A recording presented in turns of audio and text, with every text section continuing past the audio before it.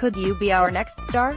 Leeds United Academy will be holding two open trials in August. Trials will be held for school years 1 to 7 and 8 to 11 and the purpose of the event is to potentially recruit any promising players to our academy system. Leeds United Open Trial Tuesday the 14th of August 2018 Leeds United Academy will be holding open trials for players in school years 1 to 7. The purpose of the event is to potentially recruit any promising players to our academy system. The course will take place at Thorpe Arch Academy on Tuesday the 14th of August 2018. For more information, and to book onto the trial, please email Terry Potter at terry.potter at leedsunited.com Leeds United Open Trial Tuesday the 21st of August 2018 Leeds United Academy will be holding open trials for players in school years 8 to 11.